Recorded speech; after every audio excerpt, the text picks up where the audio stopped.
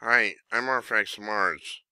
We've had some highly unusual seismic activity here in sunny western New York State. There were two earthquakes. Both of them were centered underneath uh, Lake Ontario. Now, what you're seeing here is the Rochester edition of the New York Communist Party's newsletter. But anyway, the debunkers are uh, flying in. This is extremely unusual. Of course, they say exactly the opposite. Are two quakes in five days unusual? No, not at all. There have been 46 tremblers in the state in the last two years. Bullshit. I live here. That's one every two weeks. Massena and Malone, neighboring small cities in North Country, alone recorded six quakes since Christmas. Bullshit. This is a seismically stable state. I've been through two natural earthquakes my entire life. I've lived more than four decades in this state.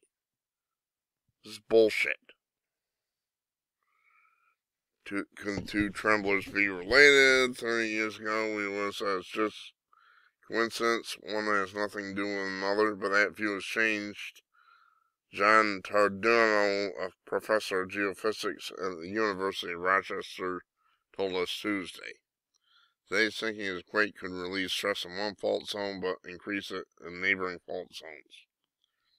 Countless fractures and faults exist in Earth's crust below New York State. Some are clustered in fault zones.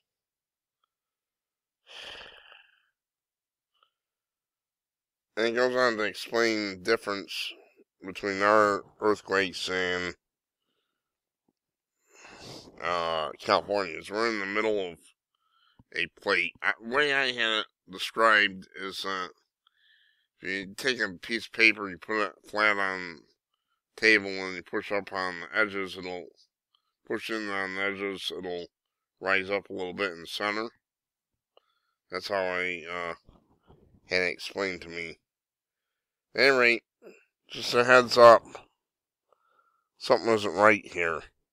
This is extremely unusual regardless of what they claim. They say it's normal, no it's not normal. Whether it's going to turn into a major problem or not, we'll have to wait and see. But there has been two unusual earthquakes in this area, unusual seismic activity. This area is supposed to be stable. God, it's going to be unlivable if you have to put up with earthquakes too. I'm Artifacts of Mars. Thanks for watching.